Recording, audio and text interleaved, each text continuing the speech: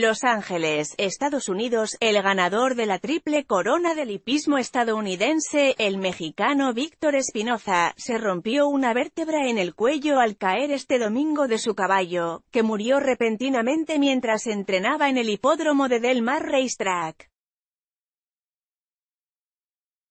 Pese a la gravedad de la lesión, se espera que Espinoza se recupere completamente, según su agente.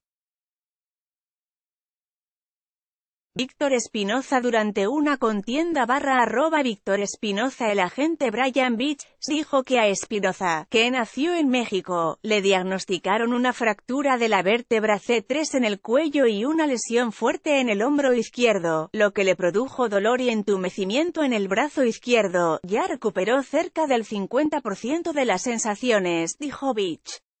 Los médicos son optimistas de que se recuperará completamente con bastante rapidez.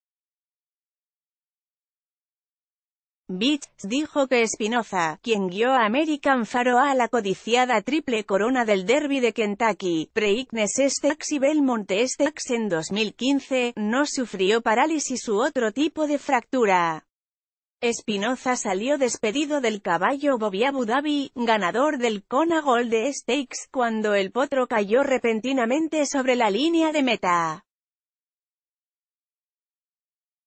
El propietario, Brian Trump, tuiteó que el caballo murió de paro cardíaco repentino. It is with great sadness that I can confirm this morning we lost our boy, Bobby Abu Dhabi to a sudden cardiac arrest on the track. While we are deeply saddened and heartbroken by this loss our tops are currently with HOF y arroba Víctor Espinoza.